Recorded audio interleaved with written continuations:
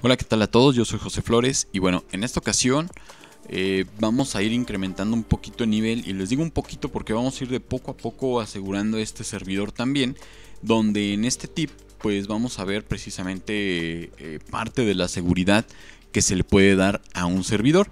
Entonces eh, lo que vamos a hacer es utilizar un programa que de hecho está muy interesante que se llama Fail to Ban. Fail to Ban es un programa el cual eh, podemos eh, ver la documentación que nos dice que es precisamente para mantener más seguridad en nuestro servidor con respecto a que va a bloquear ciertas direcciones IP por ciertas reglas que podemos aplicar junto con nuestro firewall, en este caso IP tables. Eh, poco a poco lo vamos a ver porque a mí se me dificulta muchísimo IP tables, pero me conozco algunas reglas las cuales nos pueden ayudar. Fail to Ban pues prácticamente es un demonio que va revisando los logs del sistema. Por ejemplo, en este caso, si tenemos un servidor de Apache eh, para páginas web y tratamos de ver que nos quieren hacer un ataque de denegación de servicios y ya vemos que lleva bastante tiempo funcionando eh, a través de una dirección IP, lo que va a hacer es determinar que esa dirección IP va a bloquearse, ¿sí? Por el número de intentos que está haciendo, el número de consultas que está logrando hacer, inclusive por SSH. Si yo quiero poner de manera muy estricta que si entran a mi servidor SSH o quieren acceder a mi servidor SSH, eh, que también bloquee la dirección IP de origen.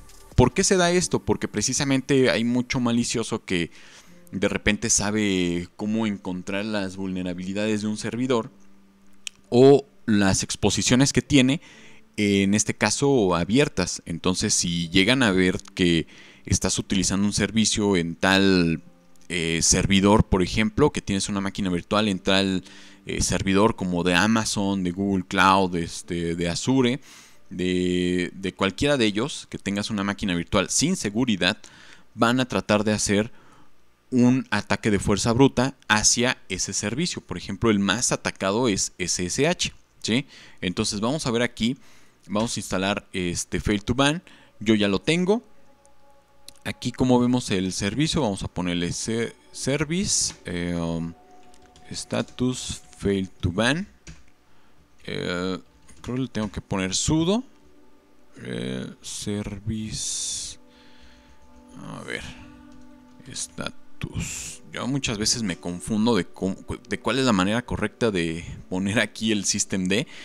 Eh, pero bueno, es así. Service fail to ban status está funcionando. Eh, hay una ventaja de esto y es que fail to ban ya viene con algunos parámetros establecidos.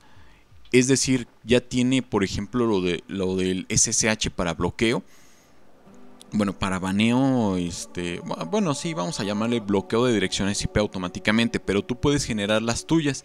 Ya vienen muchísimas. En este caso, recuerdo que están aquí en, en ETC. Ah, me equivoqué, era navegar hacia la, hacia la carpeta.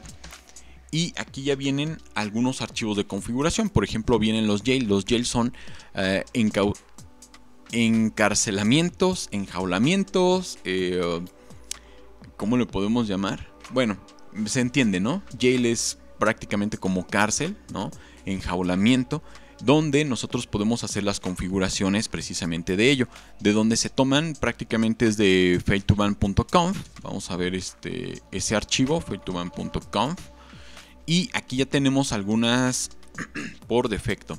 Inclusive tenemos aquí documentado qué es lo que puede pasar eh, y qué es lo que puede revisar. ¿no? Por ejemplo, aquí el, log de fail to ban, pues es este que precisamente nos va a mostrar todos los ataques que vaya a tener.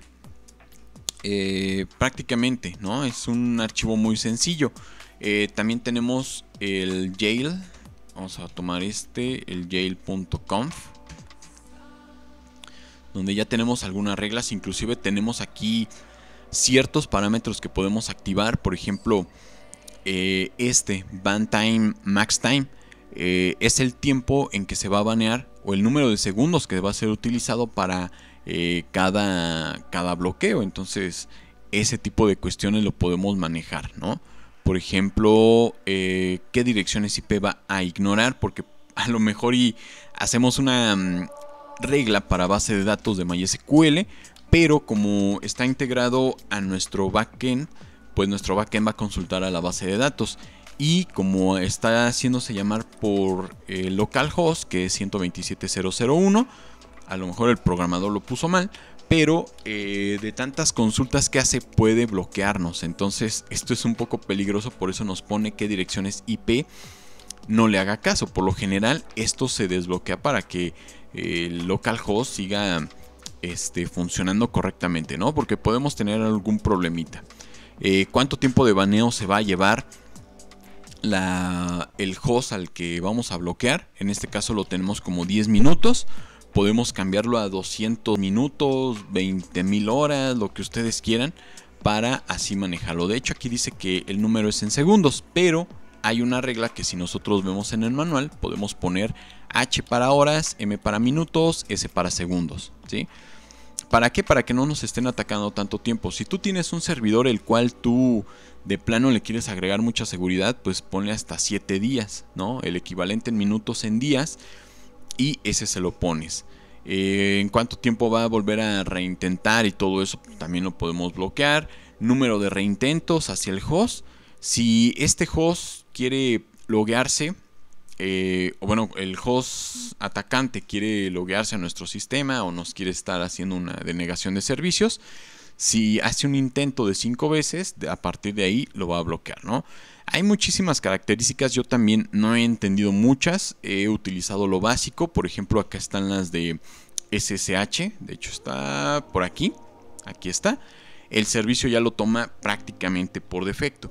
Eh, nosotros podemos cambiar el puerto, aquí recuerden, está de manera natural, es decir, este ya sabe que es el puerto 22, pero si nosotros cambiamos el puerto al puerto 23, pues aquí lo hacemos, ¿no?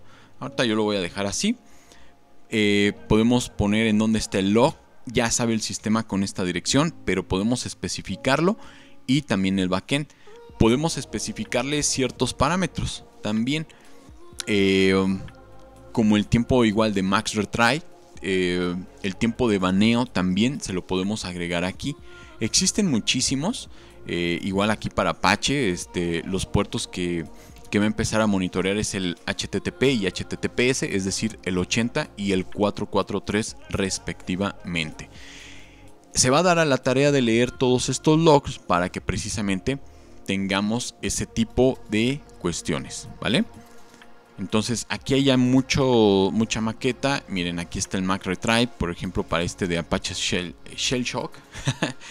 Entonces lo podemos reutilizar para otro, ¿no?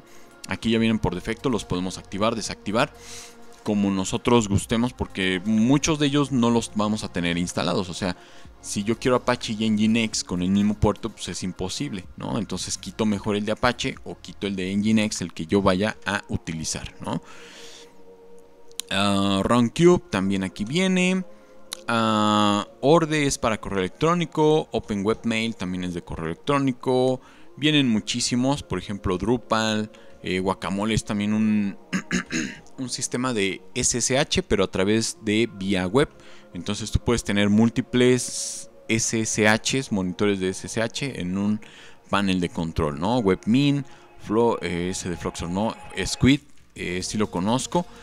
Eh, ProFTPD, PureFTPD, todos los FTPDs que están, también VSFTPD que ya ahí lo conocen, pues lo podemos empezar a monitorear. Inclusive los puertos de correo electrónico que son como Courier, Postfix, ¿no? Dovecot, Sendmail, este Qmail.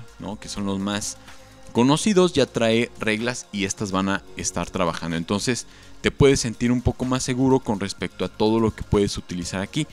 Te repito, tú puedes eh, perfeccionarlo, nada más léete bien la documentación o vete algún truco precisamente para todo esto, ¿no?